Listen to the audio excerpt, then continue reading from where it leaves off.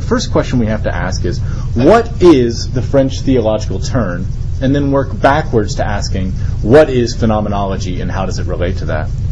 So the first thing we should say, what is the French theological turn? Well, it is the major source of new phenomenological research, in many ways the major source of new philosophical research in France, right?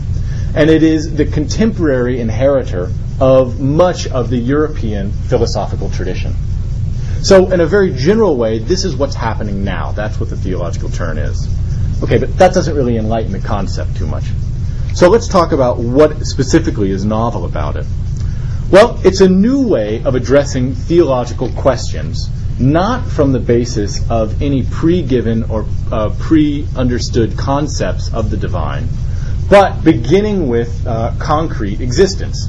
In other words, it tries to answer some of the age-old philosophical, I mean, theological questions uh, by not beginning with some ideal content, something like the idea of God, but with the real or actual existence as we encounter it day to day. In this way, it tries to employ the philo- philosophical systems of Edmund Husserl and Martin Heidegger, the founders of phenomenology, uh, as a new platform for leaping into theological discussion. Right? It's this a way of avoiding sort of the traditional uh, jumping off point, which would be scripture and tradition. Right? Now, this may strike some of you as not terribly novel, especially those of you in uh, the theology department. Uh, because this is something, after all, which I think someone like Augustine attempted uh, in his work, right? So, for example, in uh, his um, essay on uh, free will and grace, right, when Augustine goes about asking, well, how do we know uh, that there is a God, and what do we mean when we say that there is such a God? He doesn't begin with Scripture, nor does he begin with some um, sort of abstract assertion uh, to what the nature of God's existence would be. He says, let's begin with our own existence, right? Let's start by examining what, what we are and who we are. And of course, you know the beginning of the Confessions, which begins with the statement, Our hearts are restless till they find their rest in Thee. The, the idea being that we understand God on the basis of our own restlessness rather than on the basis of some abstract theological concept. In this regard, it's not new uh, within philosophy. Uh, but it is new uh, within contemporary thought. Uh, and it's, it is novel, um, uh, in a sense, after Augustine. But we could say that Augustine uh, was avant la lettre, as we say in French, sort of before, before his time, a proto phenomenologist of some sort. But I want to say that it's particularly novel within phenomenology, the field that I work in, and the field that we address as we move backwards from the end of the title of my talk to the beginning. So the question is, why is that? Well, to understand that, we have to understand a bit of the history of the phenomenological movement. Am I going too fast for anyone? No? Okay, good. Again, this is meant to be very general, uh, introductory, very relaxed. So, also, at any point, if it gets uh, a bit confusing, uh, just raise your hand. I mean, this is a, a colloquium, right? It's a, a, chance for us to meet as minds. So, all right. So let's talk a bit about phenomenology and why this would be a novel approach within phenomenology. Well, since the beginning of the phenomenological movement, right, which would be around the end of the 19th century, the beginning of the 20th century, phenomenology is really seen as a 20th century movement, even though its roots and origins are really at the end of the 19th century. The question of the existence of God and the nature, of the value, the nature and the value of faith have been famously set aside. Now, set aside is actually the technical language employed by the founder of phenomenology, Edmund Husserl. Well, what does he mean by that? Well, philosophy at the time that Edmund Husserl came about had gotten, uh, in his words, uh, needlessly idealistic. Meaning that uh, we, it had started tarrying with uh, ideal content uh, rather than actual real existence. You know, this is probably famously illustrated by the sort of arcane debates which were taking place, uh, not to point fingers, uh, in medieval philosophy at the time, right? And, and which had been, been taken up by some uh, modern philosophers. You know, questions like how many angels can dance on the head of a pin, these sorts of, uh, of silly questions, right? Uh, we'll allow the medievalists to defend themselves later, if at all. Now, Edmund Husserl uh, championed his uh, philosophical movement with a battle cry back to the things in themselves, back to reality, back to concrete existence. Well, in the progress of, of this movement, he then felt that, well, anything which doesn't uh, fit into reality as we experience it, reality as it appears to us, must be temporarily set aside or bracketed. That doesn't mean we're not going to uh, talk about these questions or that uh, they're completely invalid. It just means uh, until we've gotten back to these the reality and understood this thing, we have to kind of set them aside, right? So he says, in a sense, the essence of doing real philosophy is setting aside traditionally metaphysical questions. Metaphysics, of course, was seen traditionally as first philosophy, the very most important thing, the basic thing. Husserl wanted to throw metaphysics out the window, right? So let's give an example. What's a classic metaphysical question when we talk about, for example, this table? The classic metaphysical question is, how do I know that the table is beyond my perception of the table? There's an assumption that there's a distinction between the table as it appears to me which, which we could call the phenomenal table, and the table as it actually is, which we could call the noumenal table, to use the classic Kantian distinctions. Well, Husserl thought that this distinction was a bit arcane, abstract, and, and silly. Why presume, Husserl would ask, that there is such a thing as the real noumenal table beyond my phenomenal experience of the table? Isn't what I mean by the word is, isn't what I mean by existence simply that something appears to me? So let's toss this sort of metaphysical baggage out the window and let's replace our understanding of being with phenomena. Being is that which appears. Being uh, in any way, right? Either visually, auditorily, for example, a song, right, in taste. Something is in as much as it appears to me. Right? In this way, Husserl redefined uh, existence, being itself, with the phenomenal and not with the noumenal as it had been traditionally held in philosophy. But of course, this presents a problem for people of faith. How so? Well, God doesn't ever appear as such. There is no discrete phenomena that we can point to and say, that is God. As a result, God, along with all the metaphysical baggage of the noumenal realm, gets, in a sense, thrown out the window. God can't be talked about within phenomenology. It has to be purely a subject of faith, Husserl says, which is beyond the realm of philosophical talk. And he means it in a kind of relegatory sense, right? When he says it's merely the subject of faith, this is his way of saying of nonsense, really, right? Uh, so, c- c- does this make sense? How by uh, redefining being in this way, uh, God all of a sudden becomes something which is not is not a being, right? So, Husserl goes so far as uh, in doing this, right, uh, as to even uh, in his 1929 Sorbonne lectures, which were famously entitled uh, Descartes' Meditations, and he, he organized them six lectures in a row, each lecture to deal with one of the famous six meditations of Descartes. When he got to the third meditation, which is famously, you know, the meditation in which Descartes treats the existence of God, he didn't mention the, the word God once in this lecture. So it, it's quite interesting in, in, the sense that he felt like he was really taking up Descartes' mantle of, uh, of doing proper philosophy and not doing sort of this weird theology, starting with things themselves, how they exist, our own appearance of existence. But he, he drops God entirely from the picture. So this is how much uh, the concept of God was set aside or bracketed in Husserl's philosophy. Okay? Uh, you'll, remember that um, just to kind of return briefly, uh, Rajiv's paper that he presented last year was saying, well, wait a second, let's not go so quickly. Maybe there is room for God in Husserl's philosophy after all. So he was trying, in a sense, to find wiggle room uh, for the theological within Husserl. So that was what was novel about his paper for those of you who attended. Okay. Now, this uh, critique of theology and this way of doing philosophy, which we're now calling phenomenology, right, dealing with the phenomena, the things in themselves, was taken up by Husserl's premier student, Martin Heidegger, right? Uh, so Heidegger, now of course there is some debate on how much Husserl, I mean Heidegger remains true to Husserl's um, distinctions, but let's let's for the moment assume that um, Heidegger is a phenomenologist in the, in the sense that Husserl uh, is talking about.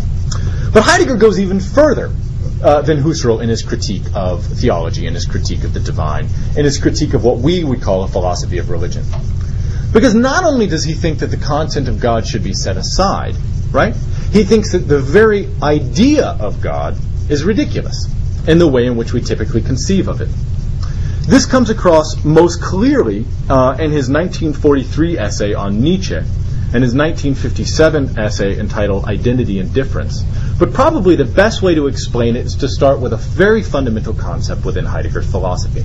Heidegger says, okay, in the course of talking about what it means for something to be, what it means for something to exist, like the table, we have to make a distinction between what we mean by the word being. Right? He says typically the word being can be thought of in two ways. Right? This he calls ontological difference. Right? The first way is as something actually is, right? A, a thing which appears, a table, a boot, uh, a, a, person, uh, a, you know, etc. A hammer, uh, whatever, what, what have you, a painting. The second way we tend to use the word being is not as one particular entity which may appear, but as the horizon or backdrop of all entities which appear. This word he, he distinguishes by calling uh, being, and he capitalizes it, big B being. So in a sense, everything which is, is inasmuch as much as it uh, appears on the background of being as a whole, right? Big B being. Now, this is a fairly traditional distinction within the history of philosophy to some regard, right? This is, in a lot of ways, uh, Heidegger's way of taking up um, Plato's distinction, right, between things and their form, right, things and their ideas. But Heidegger goes one step further because he says, well, look, when we're talking about being, of course, the only thing which properly is, in as much as we, what we mean by the word is, is the entity itself. This big B being, which we assume is the backdrop upon which all particular beings appear, isn't. It doesn't exist. In fact, the, the very condition by which things appear uh, is the fact that this backdrop or this horizon differentiates itself from that which appears. So things appear as that which is precisely because their horizon is not. Right? So he says, well, of course, this presents a very uh, big problem for people of faith. Why? Well, twofold. You can now conceive of God in one of two ways if you want to assert that God is. Either you assert that God is in a very real way, in the same way that a boot, a tree, or a person is, in which case he says you reduce God to being an entity like any other entity. Uh, according to Heidegger, this is the tradition of Western metaphysics, and he calls it onto uh, theology. Right? It's a way of doing theology about beings. But he says, but this is a, to, to make to, to kind of degrade the being of God, right? God is just like a chair except bigger, or God is just like a hammer except uh, with infinite properties. He says, so this is this is uh, this is obviously a, a kind of um, idolatrous conception of God. So clearly, this is not what they mean. So he says, well, what Christians must then mean by God is not uh, being as an entity, but being as the backdrop of all particular entities. But he says, but of course, if that's the case, then your God is nothing. Your God doesn't exist, right? So in a sense, Heidegger goes a lot further than Husserl in his critique of uh, philosophy of religion and theology, uh, because aside from simply setting God uh, uh, uh, aside or bracketing the concept of God, he really wants to sort of twist the knife in God's heart, right? And say, look, this concept of God is just it's it's nothing, right? Okay. Um, this sets a background within the phenomenological tradition for a very hardcore atheism, right? And it makes sense that Sartre, who saw himself as the inheritor of the thought of Husserl and Heidegger, would, you know, carry this into a kind of existentialism which says, you know, the world is meaningless and empty and there is no God and all you can do is launch yourself into the abyss on your own ground. And Camus, you know, statements that when one realizes the true nature of phenomenon, they're faced with only one choice to kill themselves or not. You know, these very sort of lovely sentiments that should be on Hallmark greeting cards and are in France. Okay. it's a great country. They have baguettes and chocolate and uh, very depressing greeting cards. Uh, I have a collection of them. I'll show you. All right.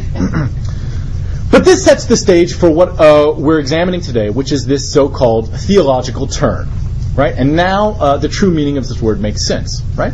Which is what? It's a turn towards theology within the tradition of phenomenology um, in a sense, it's the resurrection of God as a topic of possible discourse, but on a new ground, on the ground of uh, all the philosoph- uh, philosophical assumptions of phenomenology. Okay. Now, this resurrection or this turn towards theology has a, a very uh, interesting and illustrious history, which I'll just mention briefly for those of you who are who are uh, know a little bit about this. It was motivated uh, primarily by two French uh, thinkers, Jean Wahl and uh, Jean Hyppolite, both uh, expositors of the philosophy of uh, Hegel in uh, France. They saw themselves as really the two thinkers who introduced Hegel to, along with another guy, Kojève, introducing Hegel to French thought. they had such illustrious students as Jean-Paul Sartre, Emmanuel Levinas, Gabriel Marcel, um, um, uh, Jacques Lacan. So a lot of uh, people studied with these two uh, men. Jean Wahl himself had an interesting uh, pedigree. He studied with Bergson, uh, who of course was seen as uh, resurrecting theology in the French Academy in his time. but it's not so much Jean Wahl and Jean Hyppolite who started the French theological turn, but more so the students of Jean Wahl, and primarily Emmanuel Levinas, who I'll talk to you about briefly. Um, Levinas, uh, of course, is the subject of uh, the bulk of my interests. I've just uh, written a book on Emmanuel Levinas, which I can uh, take the good news to share with you here that it seems tentatively is going to be published with Duquesne University Press. Um, so we just got that news recently.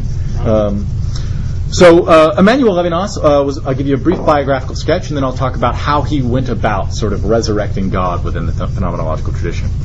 his dates, in case you're interested, are 1906 to 1995, so he's very, very contemporary. He was a Lithuanian Jew who was raised mostly in Paris, uh, but he went to Germany in 1928 through 29 uh, to study with Husserl. Right? Uh, Husserl's name was sort of spreading. Husserl had just done the Sorbonne lectures in Paris, and uh, you know uh, Levinas thought that it would be advantageous of him to go to Germany. While there, he discovered a word of this up-and-coming philosopher who had yet to be translated or, or heard outside of Germany, uh, Martin Heidegger. So Husserl quickly became a devotee to Heidegger, uh, and uh, really was the first person to bring Heidegger back into France. Right? Uh, he was also the first person to translate Husserl into French. So in a lot of ways, he really is the door of phenomenology into France. Um, of course, the irony uh, in this, uh, in case you're interested, is that uh, even though he's the one who introduces Husserl and Heidegger into the French uh, philosophical scene, he's also the very person who's going to call into question the, the very foundations of their uh, relationship to the divine. So, in a sense, from the very beginning in France, phenomenology, since, since phenomenology's very beginning in France, it's always been already overturned, in a sense. Uh, this is something sort of strange that, that we're interested in. Okay, but what's, what's interesting and distinct about his philosophy is the way that he felt that Husserl had overlooked certain phenomena. Husserl, he wanted to say, look, I think Husserl's method is right. I think we do need to treat being as that which appears. But he says, but there are strange things which appear. There are curious phenomena which seem to betray the very limits of their phenomenality. Now that sounds like a, a, a, mouthful. But really what he's trying to say is there are beings which seem to explode infinitely. Right?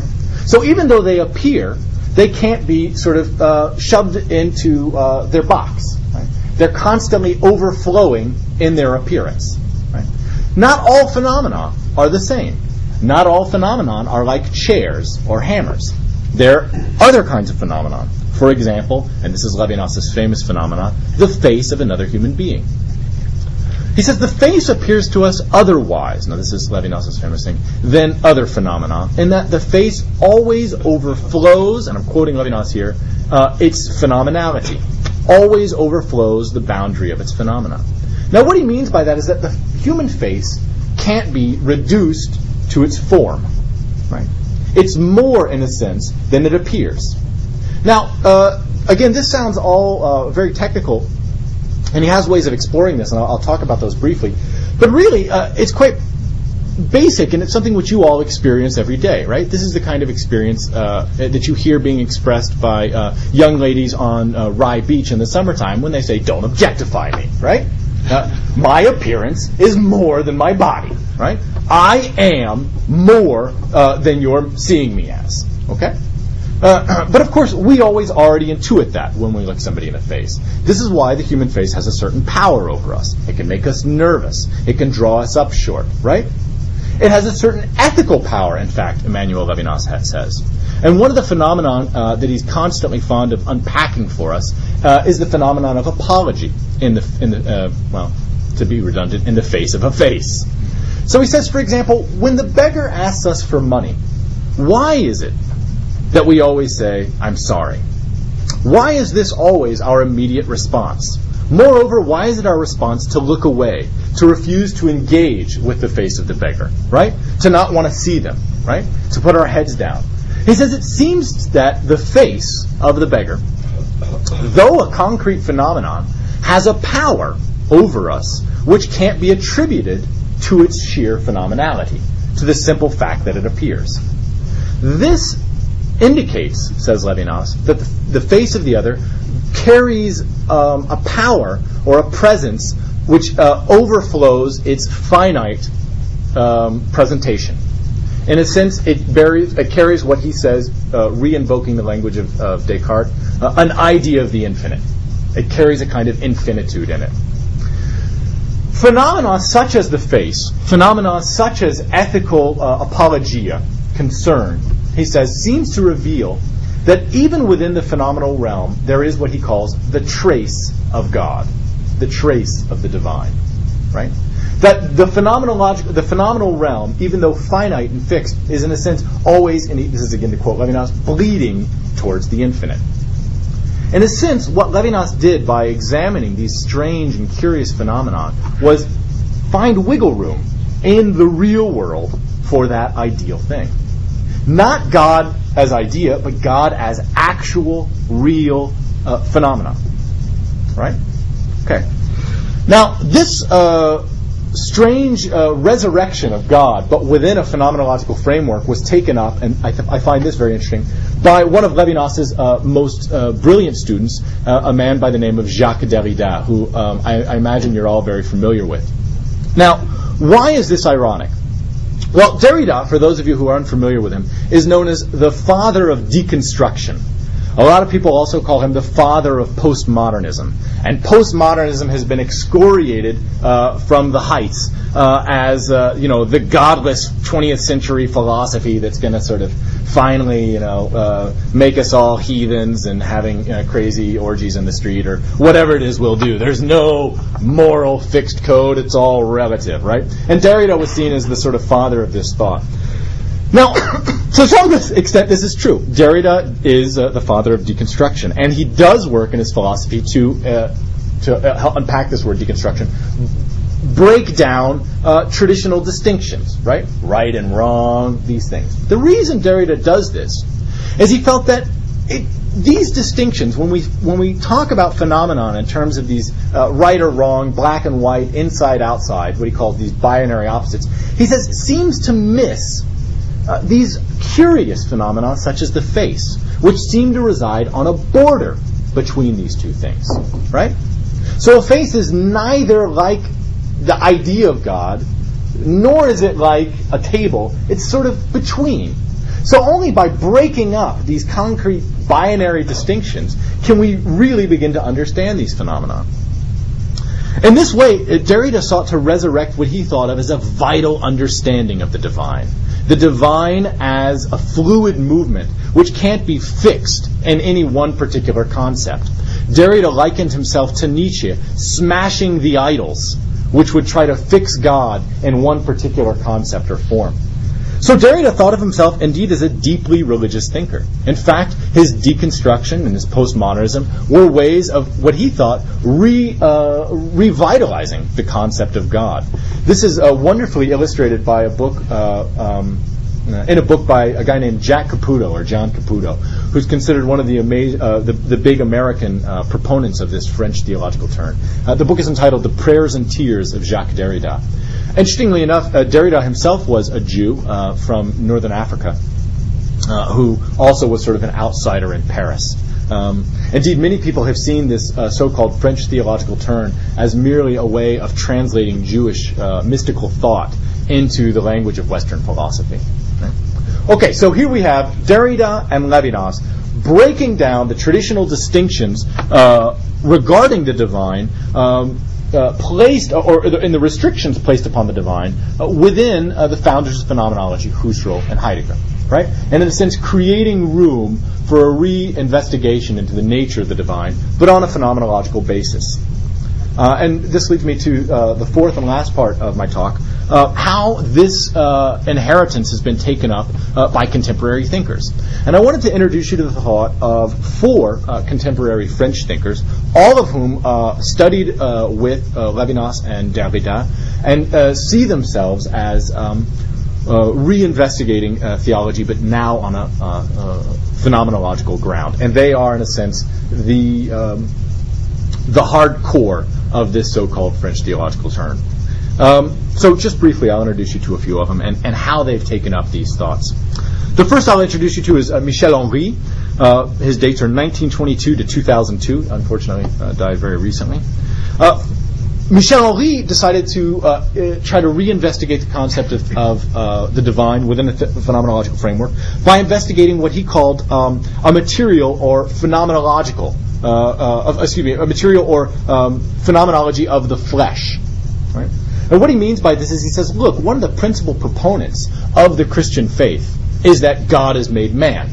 So God is no mere ideal content, but is in fact a phenomenological content, which can be studied in a very real way. Huh? So uh, he wrote three books, uh, sort of exploring uh, the idea and w- the way in which um, God appears as man and the way in which flesh um, uh, sort of bears a theological reality. Uh, a few of these books are uh, one called Incarnation, Phenom- a Philosophy of the Flesh. Another one, a very beautiful book entitled I Am the Truth Towards a Phenomenology of Christianity. And a third one, uh, which I think is yet to be translated into English, so this is my translation of the title uh, Philosophy and Phenomenology of the Body. So this is Michel Henry's way of sort of, again, taking up uh, the project initiated by Levinas and Derrida, uh, but doing it in his own particular way. Another guy who uh, is very interesting in this talk is uh, Jean-Louis Chrétien. Uh, Jean-Louis Chrétien sought to explore religious experience in a phenomenological way, especially the idea of call, solicitation, or address um, as a theologically rich phenomenon. So he wanted to explore, for example, the idea of um, uh, uh, what we would call in the Catholic tradition vocation, right, or prayer for example. What is phenomenologically happening in prayer? Right? What's going on? Prayer is a phenomenon. And how does, does this phenomenon sort of reopen uh, a way in which to talk about God? Um, three of his books, again, I just throw these out in case you're interested in them, uh, is a book called The Unforgettable and the Unhoped For, in which he explores uh, the idea of the Messiah. Another one is called Call and Response, in which he uh, talks about vocation and prayer. Uh, and uh, finally, a, a, third one, which I love, is called uh, The Nude Voice, a phenomenology of promise, in which he talks about the way in which speaking is already a sort of theologically fecund phenomenon. Another guy, one of my personal favorites, is a guy's name uh, Jean-Yves Lacoste, uh, Father Lacoste, actually. Uh, he initiated what he called a phenomenology of liturgy, an attempt to examine the integral role of ritual in human life as a way of experiencing the divine. So he saw ritual, ritualizing things like funeral, right, uh, or even habits, tics, right? uh, any kind of ritual as uh, as a kind of liturgy, as a way of uh, interacting with the divine on a, on a, on a daily level. In this way, he he took Heidegger's concept of being in the world uh, and re-understood it as a kind of being towards God. Every ritual which you engage in in the world, he says, is a way of orienting yourself towards this sort of uh, theological power uh, which we experience concretely in the world, in the phenomenological world. Right? And indeed, uh, he even thought as a way of uh, protecting us from that. Um, only wrote one book, but again, I'll give you a title of it uh, in case you're interested. Uh, it's called Experience and the Absolute Disputed Questions on the Humanity of Man. Again, uh, he saw man as a theological animal. This is how he defines man. So he wants to get rid of this concept of the human uh, and start calling us a, theo- a, a liturgical animal, he says. Hmm. Finally, I'll introduce you to the uh, idea of uh, the, uh, someone who is probably the most important member of this theological turn, uh, Jean-Luc Marion. Jean-Luc Marion is still with us, fortunately. He was born in 1946. Uh, and more than any of his contemporaries, he is seen as uh, the guy who um, has really uh, made progress in uh, finding room for the divine and for theologically fecund ideas within phenomenology. He does this uh, pri- primarily uh, through three different ways, which I'll just address to you briefly. The first is by exploring uh, what we called again these uh, fecund or these rich phenomena, which he calls saturated phenomena. Uh, his two most uh, uh, saturated phenomena, the idea again being that there's more contained in the phenomena than seemingly can possibly be contained. It's sort of supersaturated, right? Um, he uses indeed the scientific idea of supersaturation to talk about this. Uh, three uh, examples of a saturated phenomenon he likes to explore are the, the concept of the Eucharist, right? The concept of icons, icons as opposed to idols, right? So an icon is it's just it's a picture, right?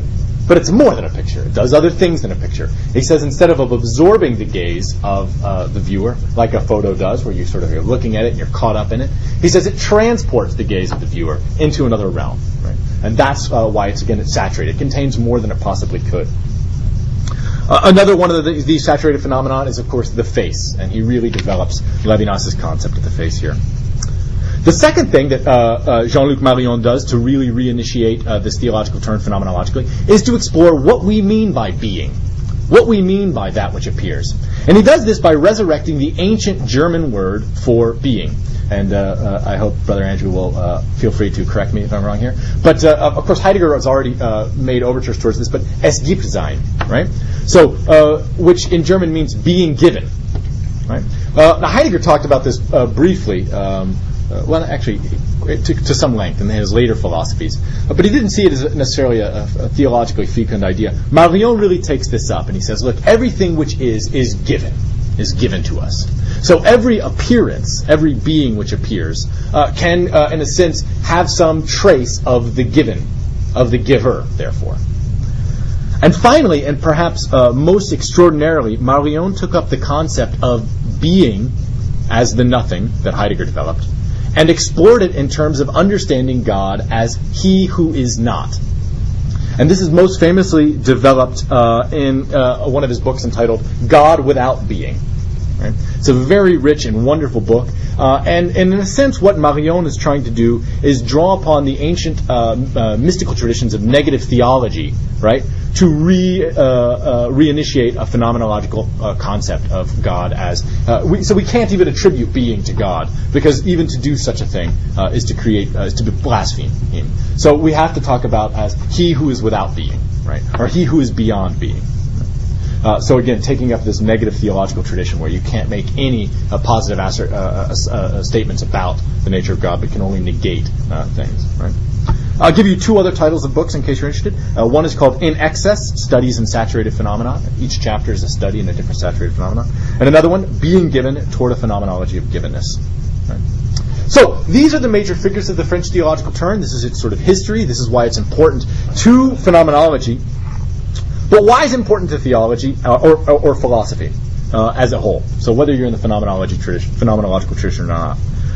I think it's important in phenomenology because it, it, provides an interesting way of responding to what is really the modern critique of theology and, and philosophy of religion which is, oh, look, you're, you're talking about nonsense. This stuff is sort of uh, beyond uh, your ability to talk about. It's, it finds a way to talk about these things uh, within a real, actual world, not just as ideal contents, but as real potencies, yeah? things which really occur, things which really appear in the world. Uh, so, in a sense, it re- re- uh, reinvigorates um, the philosophy of religion. so, I think that's why it's important to philosophy. Why is it important for theology?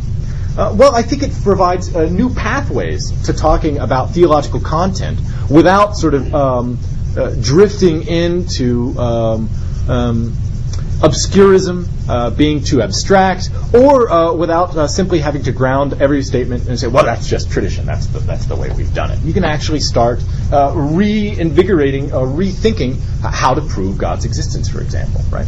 Uh, I think indeed the phenomenological turn provides rich ground for rethinking the traditional, the, the, Catholic tradition of providing proofs for God's existence. Right? So I think this is what's uh, interesting about this. I, I want to conclude by um, recommending you to some further reading if you're interested in this. Uh, the first is uh, uh just uh, serendipitous. I was at uh, SPEP this past weekend, which is the Society for Phenomenology and Existential Philosophy. It's sort of our, our big yearly gathering of geekdom. it's if you're if you're in, you know what Trekkie conferences are. This is very very similar. people dress as their famous favorite phenomenologists and do role play. But uh, Duquesne University in Pittsburgh has a yearly lecture series in phenomenology. Uh, it's called the Simon Silverman Lecture Series in Phenomenology. And this year, in fact, as you can see their uh, uh, subject is phenomenology and the theological turn. Uh, so, you know, uh, they're following my lead, obviously. Um, and in fact, uh, uh, Jean-Luc Marion will be coming from uh, the Sorbonne to give a, a talk there. So uh, this is something which uh, you could see. He's a very, very good uh, lecturer. Um, and Richard Kearney from Boston College, those of you who know. Kearney, thank you. It's that Irish thing. Um, will be responding to Marion's paper. Kearney has, has taken up these things. The other book, for those of you who think this might be all just bunk, or uh, for those of you who think that uh, really this is a complete betrayal of what phenomenology really is, um, could uh, look at this wonderful book uh, by uh, uh, Dominique Janicaud, which is entitled Phenomenology and, notice it's in quotes, the theological turn. Um, Dominique Janicaud was a, a, big criticizer of, of the theological turn. She, he felt that um, it was not being true to Husserl and Heidegger's original insights. So wrote this uh, uh, um, essay on uh, how it betrayed phenomenology. Uh, and in this uh, edition, which can be uh, got online, it's wonderful because it has uh, essay, but then it has responses by um, the major figures within the theological turn, by uh, Chrétien, Jean-François Courtine, Michel Henry, Jean-Luc Marion, and Paul Ricoeur uh, so who's also another member. So it's a, it's a very neat book, uh, both a good way to introduce yourself to the thoughts if you just skip over Janicaud's uh, essay, uh, or to find some criticism for the thought. If you apologizing to beggars, my worry is I would want to talk about it because I'd have to go see how the Japanese respond and then how uh, some South Pacific Islanders respond to beggars and how Africans pretty soon I'll probably find out that some stare each other down and some. I, I mean, how do you know that you got a phenomenon that you can do anything with, or you're just you just do it across you know Western responses all you're talking about? It, it, depends who you ask. There's two responses to that, of course. I mean, um, why don't I? I'll give what what I would consider to be the more traditional response, and then I, I can give uh, another response. I think the the initial thing is, well, look, all philosophy is based on certain assumptions, right? the assumption that there are, uh, we are talking about the same thing. Because, of course, the question you ask is, well, for example, how do I know that uh, the phenomenon I'm talking about is the same phenomenon you're talking about, or that the phenomenon I'm talking about actually occurs in such a way that it appears to all people in the same way? I mean, gosh, at that point when we ask that question, we're asking the exact same question, which is, how do I know that when I use a word, you understand by that word the same thing I do? And I take it that when you start asking those questions, though they're philosophically important questions, you break down fundamentally the ability to do what what I we call real philosophy in a sense. And the reason is because um, at some point uh, it becomes impossible to know, right? Uh, and I think I think we we we we're, we're very familiar with the, the way in which uh, that can kind of ultimately lead to a kind of uh, sort of goofy skepticism where the only appropriate response I can have to your question is to either kick you or ask you to leave, right? Uh, or, or, any sort of nonsense I throw out. So I think the first thing is to say, well, there is some assumption that uh, there is a universality to phenomenal, to, to, the phenomenal realm. That there is such a thing as the human, right? And that uh, the human, though it may have different cultural iterations, um, uh, is the same in all things, and that this is a basic human phenomenon. That would be the assumption. And the way to make sure that it is a basic human assumption as opposed to a cultural phenomenon is, of course, to look at the way in which it manifests in all cultures. So, for example, the shame we feel, or the response that we have to a beggar, period. Uh, that's Levinas's point. Now, he says, look, it may manifest as shame here. That may be a cultural response. That's true. But the very fact that we can't close ourselves off to the beggar's call, that we feel that we must make a response, right? Whether that response be staring them down, cuffing them in the ears, as it may be in the case of BA, or you know, um, I don't know, or, or, you know, or or uh, or in my case, uh, you know, uh, crawling up into a corner at home and, and crying in the fetal position because you know that there's nothing you can do to appease their suffering. Okay, we all have our hangups, but um, so th- those are uh, okay, maybe three different cultural iterations. But the fact remains that uh, when we're confronted with the need of another human being, we must respond. We must make a response. Now, Levinas says this proves that there's a fundamental, now listen to his play on words here, responsibility to the other. Now, that responsibility itself is what he's interested in. What he says is that bears a significance that um, it, it shows that we as human beings are not kind of closed off monads without windows but are fundamentally open to another. But moreover than just open, it shows that the other, in this case the beggar, has a kind of priority over me, can reorient my actions, such that though before I was sort of walking about the street concerned with my own issues, all of a sudden, when confronted by the other, I have to make a response. Even if that response is to sort of, you know, slap them on the head and say, get a real job, you know, or you're a lazy, you know, uh, unproducing member of society. Uh, the very fact that I have to make a response, uh, or even if I choose to ignore, right, I'm choosing to ignore, it's a form of response, shows that uh, the other has a way of redirecting me. In a sense, it, it, has more possession over my being and what I'm doing than I do. So, so there's an assumption that this is a universal phenomenon, that though it may take different cultural iterations, it's, it's a universal phenomenon. So that's one way of responding to your question. It's, it's the way I, I would respond. I do believe there is such a thing called the human. I, I do think we share certain common traits. An example uh, I could give, and this may be uh, why I didn't get this job, as a matter of fact. I, I interviewed at Emory uh, last year, and uh, somebody said, well, how do you know that we all experience something? Because I, I wrote my dissertation on longing. How do we? How do you know we all experience something called human longing. What would you say if I said to you, I've never experienced something called human longing? My response to the interviewee was, uh, well, I don't know whether to, to, pity you or despise you because I don't know uh, whether you're lying to me and being polemical or uh, whether, and, and, you really haven't experienced this, in which case you seem self, sort somehow subhuman to me. And I would go so far as saying something like that. You know, maybe you're a robot or an animal. And, um, and no offense to you, Bob, but I, th- I think certain analytical philosophers do uh, fall within that category. Um,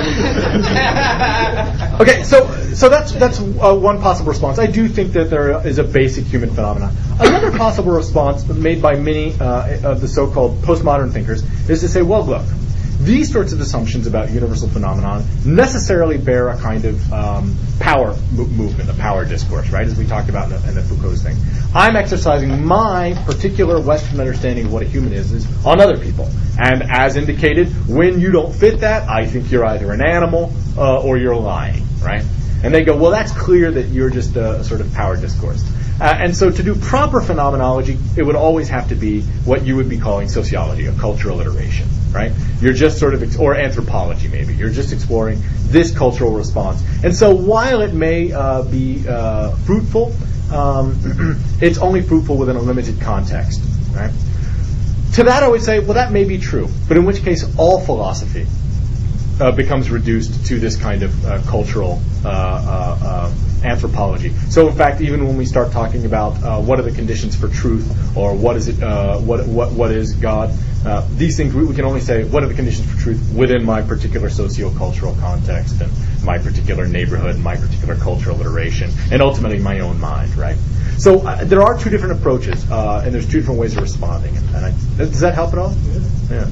All right. Yeah, Father John. Well, I, I, beg, I beg to return to the beggar. Hmm. Um, the beggar has to respond to me. So I'm not sure what the point is. Uh, humans respond to other humans in of all kinds of different situations. So what? I mean, the, the idea that the beggar suddenly has power over me because I because I have to respond to him, I can turn around and say, but the beggar then has to respond to me, so I have power over the beggar. Ah, well, I, would Is say it who encounters the one first, or what? I mean, it yeah. seems to me that you're not saying anything. Yeah. We all respond to humans. Well, Levinas would say that uh, you're. And that's you're, the phenomenon. Yeah, he'd say that. Uh, well, that may be the case, but he'd say you don't know because you, you've never been that beggar. You've only ever been you. And since, as we've said, uh, phenomenology yeah. starts with what's that? Yeah, and you may have been a beggar. Unless I've been a beggar. That's true. But in which case, you've only ever been that beggar. You, particularly. You've not been other people, other beggars. And phenomenology, again, it starts with the assumption, right, that uh, what we mean by being are things which appear. But of course, that implies something. Appear where? Well, to me. So in a sense, I can't know what it's like to be you. I can't make any assumptions. I can't make that, uh, in a sense, reversible loop of intersubjectivity. I can't assume that what my experiences are before the beggar are similar to the beggar's experiences before me. All I can do is infer based on how beings appear to me. So, in fact, uh, Levinas wants to destroy intersubjectivity. He doesn't think that we can assume that the beggar experience that, that this is simply a Buberian I and thou relationship. In fact, he criticizes Buber. For, So are we doing that. monads then? What's that? We are monads then when it all comes down. How about this? Monads with windows, though.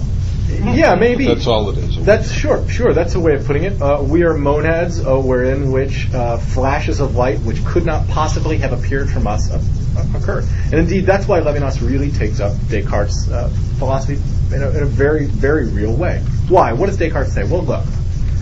When I perform the philos- the reduction, in a sense, let's call it the phenomenological reduction. Descartes doesn't call it that, but Husserl does. Of saying I can't be certain about anything, so I'm going to cancel out the world until I can find one thing I'm certain about. And what's the one thing I can be certain about? Well, that I am. Why? Well, because I'm thinking. I'm thinking that I am, so I must be certain about that. But here's something strange. Within this monadic existence, the I am, something else appears.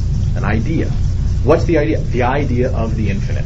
An idea which I could not possibly have been the author of. Right? Because how could I ever come up with an idea which could displace me from the center of my own existence? If indeed I am this monad which is closed off to the other world, how could I come up with something which would have a power over me? Right?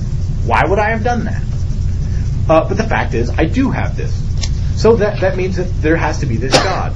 Now, extend that now into how Levinas does his phenomenology. Yeah, it's true. Being is always oriented around you. You go about the world orienting things around you, right? I mean, you see things in your perspective. You can't see things from my perspective. And those of us who are in relationships know that uh, you get in problems as soon as you start thinking you uh, know how the other perceives you or sees things, right? Well, I thought you'd like to have tuna noodle casserole to celebrate your birthday. You know? uh, no, why didn't you ask me, etc. Okay. All right. Um, so uh, but the strange thing is, in that uh, world, as we go through existence, we're constantly being displaced from the center of our existence. So, for example, we can feel ashamed, we can feel sorry, we can feel apology, we can feel responsible to another. This responsibility to the other is analogous for Levinas to that idea of the infinite. Something you discover in your monadic existence that you could not have possibly been the author of. That, it, you know, and, and, and thus that sort of bears the trace out to God. So for him, the other who appears, the beggar, the orphan, the widow, in a sense, is what God was for Descartes. I'm confused though. If the subjectivity of the other is closed off, and yet you claim there isn't a universal human, then what it's like for you to encounter the beggar must be somewhat like what it's like for me to encounter the beggar, or there is no universal. Uh, well, now we're talking about, we're, but we're mixing two different questions there, though. Uh, in the first hand, I was responding to um, uh, uh, the question of uh, how do we know that phenomenology as a, as a tool or as a technique uh, isn't uh, veering into sort of uh, random sociology. And I didn't want to say, I, I said, look, you've got two different ways in which you can address that question. Yeah, and either way is valid. Uh, now, Levinas wouldn't have answered that question in the exact same way. Because Levinas oh, would not say that there is something called the human. Remember, uh, as I mentioned just then, Levinas would not say uh, that there. The, the only universal for Levinas is the I, which is the sort of again to to talk about it in Heidegger's language, the horizon upon which all things appear. But within that horizon, this thing appears which can't be reduced to the I, which can displace the I. Right? So Levinas wouldn't actually say that there is the universal. That's Levinas's way of doing it. So e- again, each of these guys are using phenomenology in a new and different way. They're all different angles. So I don't want you to see it. I, I- hope I didn't portray it as um, one seamless sort of Hegelian uh, dialectical development. Uh, these guys attack uh, the traditional phenomenology in different ways. There have been different sort of developments outside of that. They each go about it in different ways. So, for example, Marion uh, uh, wants to take up Heidegger's concept of, of being and, and these sorts of things. Uh, so, for him, this concept of the other is not so fecund. Chrétien, on the other hand, does, right? Uh, Marion's much more happy with this kind of idea of a universal. There, there is this thing, you know. Then why is it that is it is the phenomenon, the supersaturated phenomenon, then just a For Marion. of, of a personal taste? That is to say, what strikes one as supersaturated might strike another as non-supersaturated. So this is really just an, uh, I might feel, I might feel that mollusks are supersaturated. Yeah. Um, or, or, or mathematics in, in, in, your case. I mean, we've had this conversation, in fact. So it's a great question, and, and, in a sense, you're directing that question towards Marion, and You're saying, well, look, what's the difference between an icon and a painting? Uh, is the only difference uh, is the difference inherent to the object itself, or is the difference uh, somehow in my orientation to the object? Right? And Marion would say a little bit of both.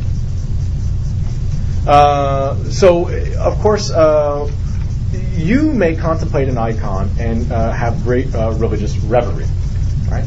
Uh, other people may go on a, a, vacation to Greece and buy old icons because they think they're pretty and they can decorate their you know room with them. Um, but the point is, in any case, you know, likewise, um, you may look at the, the Eucharist and say, look, this is the, the body of Christ, right? And somebody else may go, that's a piece of bread that you just mumbled some, some goofy phrases over. Okay? Uh, and you may say, well, how do we conceive of that in the Catholic tradition? Is it purely one's orientation to the Eucharist which makes it the body of Christ? Certainly not. Not according to the Catholic tradition, at least, right? It's not simply that you take it in faith that it becomes the body of Christ. It actually is the body of Christ. And yet you realize that only with the eyes of faith can you recognize it to be the body of Christ. Does that make sense? So you say, well, look, this thing actually is saturated, but it's only recognized as saturated through a certain orientation. In a sense, the orientation opens you to recognize the thing itself. This is, for Marion, a way of uh, re-understanding Husserl's uh, phenomenological reduction. Right? How so? Well, Husserl says, look, all the time you perceive things and you think you're perceiving them as they are. So, for example, I may see this and you may see this, and we go, well, what is that? That's a watch. He goes, well, that's not actually what appears. What appears is a certain silver uh, surface which is reflecting towards me. It's only in my mind that I synthesize, right, the different appearances and have the idea watch, which I then attribute to these different appearances. So the only way in which I can really understand this thing is when I set aside my everyday interaction with it as watch, and I start seeing it as it actually is, a series of appearances which occur, as Husserl says, in adumbration, and only I synthesize in my mind. Now, Marion takes that up in a similar way, but with faith. Look, in your everyday interaction, you may say that see the host is just a piece of bread. But you can perform a kind of phenomenological reduction, which is taking on the eyes of faith in which you can see it not as it appears in its everyday interaction, but as it actually is, right?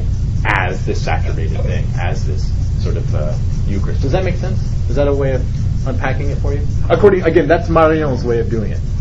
Sue? I'm wondering how the um, background viewpoint that you have to have in the case of that analysis of the host, say, your perception of it. I wonder how that uh, figures into the perception of the beggar, and I wonder how it fits into the phenomenological program.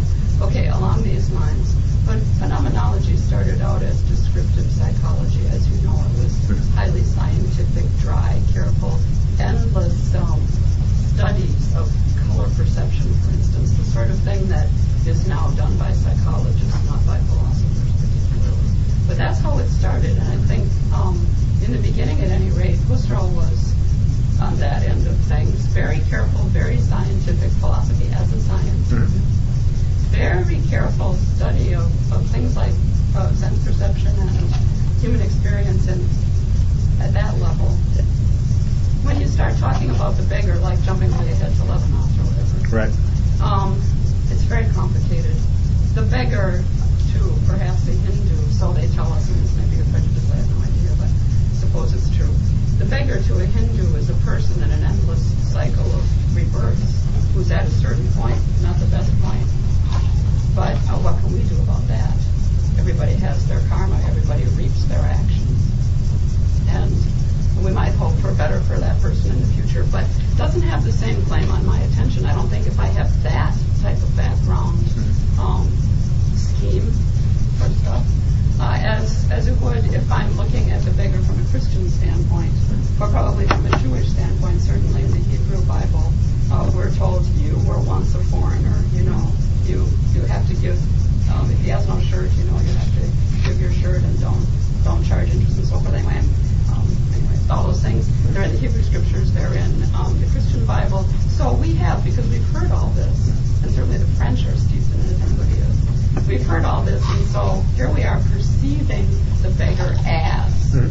somebody who has a claim on us because we have a certain background perspective. Now, how can you scientifically study this phenomenon um, without what Bob was talking about, the careful sociology, the careful psychology, and so on? That's what I'm not quite following. Okay, well, I think uh, there's a couple different responses I'll have to your question because it seems that there are a few, few different questions there uh, tucked into it.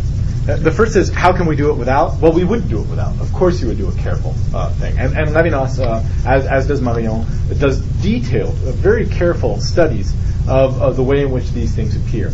Um, and uh, indeed, uh, many of Levinas's followers have gone on. One great example would be a guy named Alain Finkielkraut, who was a, a student of Levinas, went on to work out this in lots of different cultural traditions, actually, the way that the response to, to the face occurs. So, of course, you have to do those things.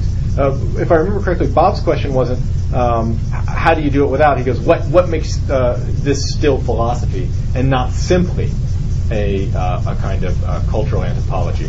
Um, of course, you need to doing any phen- phenomenology, especially phenomenology of, of human phenomena, requires a kind of cultural anthropology. But that's not all it is. It does more than that, right? So those are two slightly different questions. So of course you need to do those things, and we have to remember that Husserl himself didn't work out all of these things. He saw that as the work of his followers, right? Um, and indeed, many of them did. So, for example, um, the, the phenomenology of empathy, of course, was very famously worked out by um, Edith Stein, right? So one of his students, right?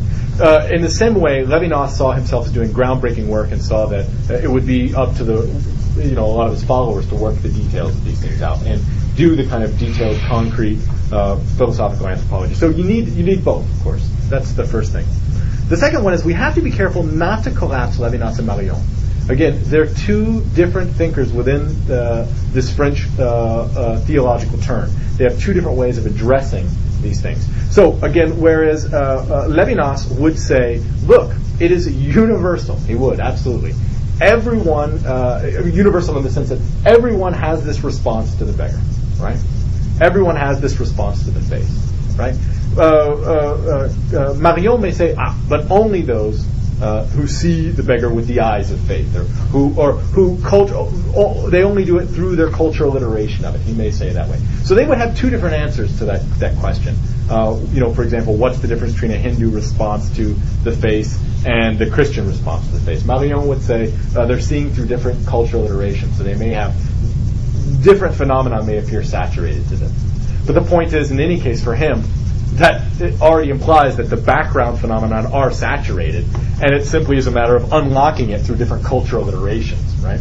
Uh, for Levinas, uh, there are certain phenomena which, in all cases, are always uh, uh, working uh, in the same way. So they would have two different ways of uh, responding to that. Does that help? You don't seem satisfied. Well, um, Edith Stein's study of empathy is in that very careful scientific mode Yeah. of early Husserl. But what I'm, maybe just be what I'm hearing, and I should go read uh, Levinas and Marion and so forth. But um, it sounds to me as though it began very careful and scientific, and it wound up, you know, I'm not being fair here, and I understand that, but to make a point, a bit sketchy and literary. and Yeah. Elusive. There's two ways we could respond to that. One, we could say, well, perhaps phenomenology has outgrown its origins. Number one. Uh, so just because it started off that way certainly doesn't mean that that's the best way, right? Uh, but but in any case, uh, I wouldn't necessarily say that.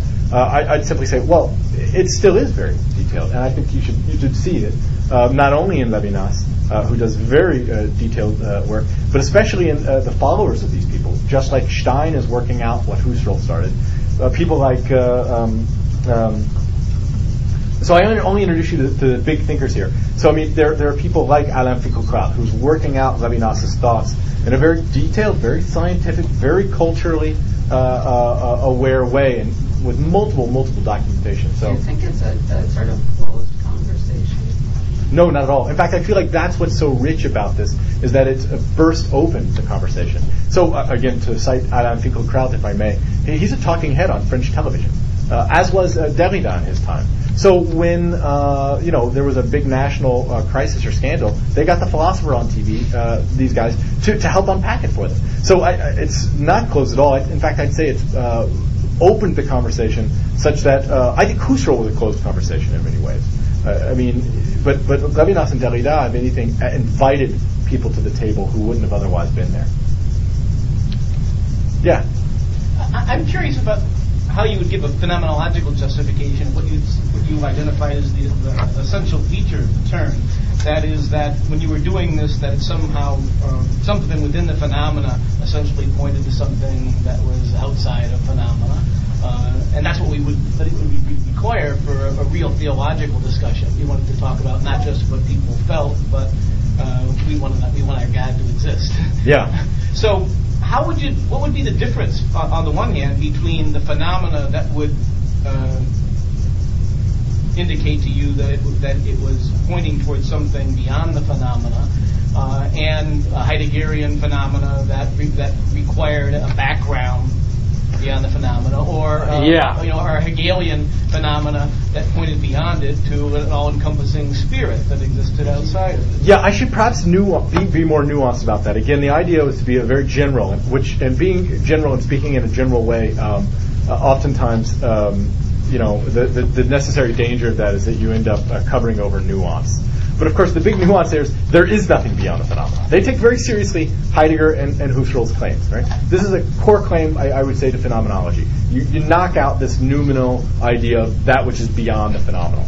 So what are we talking about when we're talking about um, uh, God then, right? Well, it's it's a, a, a God as these supersaturated phenomena. So, for example, Levinas was uh, very famously said, "Look, uh, every other is absolutely other." So, what do I mean when I talk about uh, the other as uh, the divine? Uh, precisely this other who appears before me, the orphan, the widow, yeah? and yet not the orphan widow, right? So, it's this curious sort of deconstructing of these distinctions, right? Not something beyond, something immanent, and yet not fully immanent, not able to be contained within the immanent. So it, it introduces a kind of paradox, a kind of uh, aporetic uh, talk, which Derrida was very fond of saying. It's in this aporia, it's in this impossibility uh, that is the, that we that, that is the divine, that the, that a real vital concept of the divine exists. Um, yeah. How does uh, how do Husserl and Heidegger kind of handle Kant's notion of the sublime?